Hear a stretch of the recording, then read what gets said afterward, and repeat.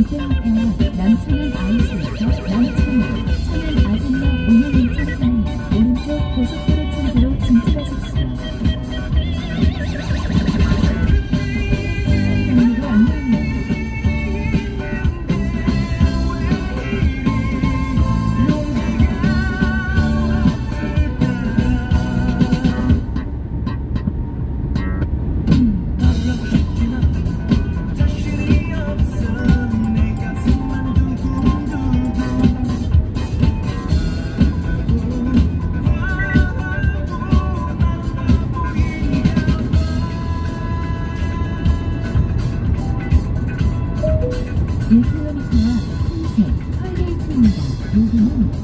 300원입니다.